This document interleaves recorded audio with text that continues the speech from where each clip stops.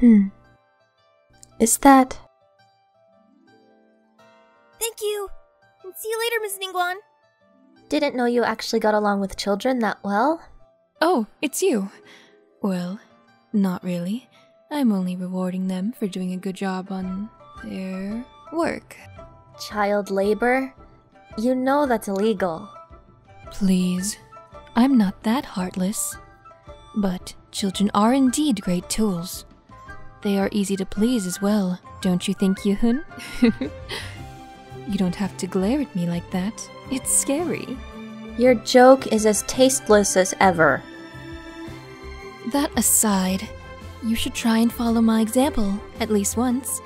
It will make your life easier. And maybe you will stop frowning every now and then. No way in hell. I'd rather die than doing things your way. well, see you around then, Yuheng.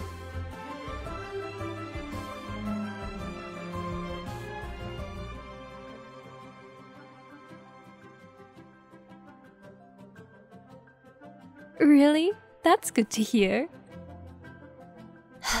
that Tianquan. She never makes that kind of expression in front of people, ever. Can't she just be honest for once and admit that she likes being around kids?